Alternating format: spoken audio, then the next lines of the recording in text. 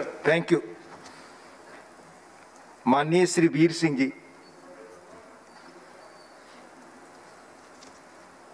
धन्यवाद। महोदय कोविड 19 का भारत में बेरोजगारी व अर्थव्यवस्था पर बहुत हानिकारक प्रभाव पड़ा है। लॉकडाउन के कारण मई 2020 तक देश में बेरोजगारी दर 24 प्रतिशत हो गई है। जिसका मुख्य कारण मांग में कमी के साथ साथ कंपनियों द्वारा बड़ी बड़ी संख्या में कार्यबल की छटनी की है। 27 मिलियन से अधिक युवाओं के अकेले अप्रैल में नौकरी खोने का कारण अर्थव्यवस्था पर बुरा असर दिखा है।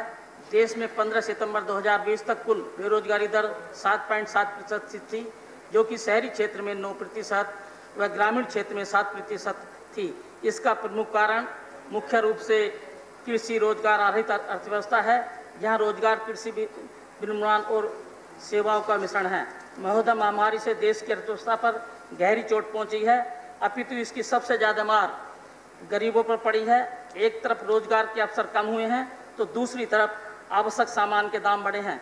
मांग खत्म होने से बड़े पैमाने पर असंगठित क्षेत्र में काम करने वाले लोग बेरोजगार हुए हैं। महोदय, आपूर्ति प्रभावित होने की वजह से गैर ज़रूरी आवश्यक सामान की कीमतों में वृद्धि हो रही है और समाज में एक नई तरह की असमानता उपजी है। विशेषकर आर्थिक, सामाजिक, शोषित वर्ग के समाज से। ऑफ़िस में काम करने वाले पेशेवर लोग घर से काम कर रहे हैं, जबकि मजदूर और असंगठित क्षेत्र में काम करने वालों को बाहर जाना पड़ता है। इससे उनके कोरोना से संक्रमित होने का खतरा बढ़ा है। महोदय, मैं सरकार से मांग करता हूँ कि कोरोना के चलते भारी बेरोजगारी से निपटने हेतु सरकार श्रम सुधार के बड़े कदमों के साथ महिला श्रमिकों की भागीदारी सुनिश्चित करे, कृषि क्षेत्र में निर्माण बढ़ावे, उत्पादन आधारित अर्थव्यवस्था बढ़ाने के लिए एमएसआई की सहूलियत देवे और सरकारी बैंकों को अतिरिक्त पूंजी निर्मित करे। महोदय, आज हमारे देश में कोरोना के कारण लगभग 24 करोड़ व्यक्तियों को रोज़गार खोना पड़ा है। आज इतनी बेरोजगारी बढ़ गई है कोरोना की वजह से। 34 प्रतिशत घरों में आज जो उनकी मासिक आमदनी थी, वो कम हो गई है, क्योंकि सारा कारोबार ठप हो गया है। केंद्र सरकार के द्वारा जो बिना तैयारी के लॉकडाउन किया गया, उससे बहुत परेशानी बढ़ी लोगों को, क्योंकि अगर इसी को एक हफ़्ता पहले किया जाता, क्योंकि जनवरी में पहला केस आ गया था। जनवरी में पहला केस आ गया था, अगर इसकी तैयारी उसी समय से होती तो ये परेशानी नहीं पड़ती, और इसमें सबसे ज़्यादा परेशानी प्रवासी मजदूरों को पड़ी। क्योंकि प्रवासी मजदूर जब लॉकडाउन हुआ, उनका रोज़गार छीना गया, कंपनियों ने उसे बाहर निकाल दिया तो उनको अपने घर जाना पड़ा। जाने के लिए कोई साधन नहीं था, वो पैदल चले तो कोरोना से कम भूख से ज़्यादा मरे गरीब लोग। इससे गरीबों की तरफ़ ध्यान देना चाहिए।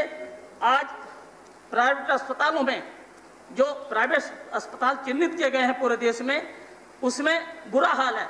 गरीब का इलाज नहीं हो रहा। उसको ऑक्सीजन नहीं मिल रही, उसको मेंटेनेंस नहीं मिल रहा।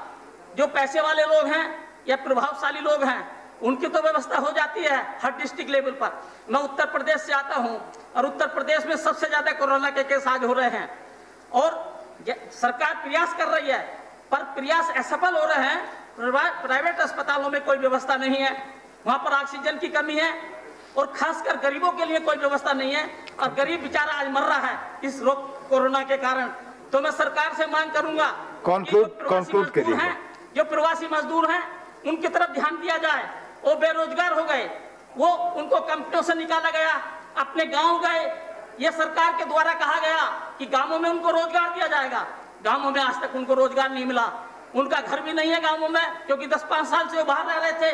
तो बेचारे परेशान है दर दर घूम रहे हैं। तो मेरी सरकार से मांग है कि कोरोना काल में जो गरीबों के सामने मुसीबत आई है उस ओर ध्यान दिया जाए। और आज पूरे देश में, पूरे देश में आज कुपोषण का प्रभाव बढ़ रहा है। महिलाओं के जो बच्चे पैदा हो रहे हैं, वो कुपोषण के प्रभावित हो रहे हैं। उधर ध्यान दिया जाए, यही मेरी मांग है। बहुत बहुत धन्यवाद। धन्यवाद। श्री विश्वजीत देमरे। श्री विश्वजीत देमरे। मौजूद नहीं है। श्री विश्वजीत देमरे। माननीय संजय सिंह।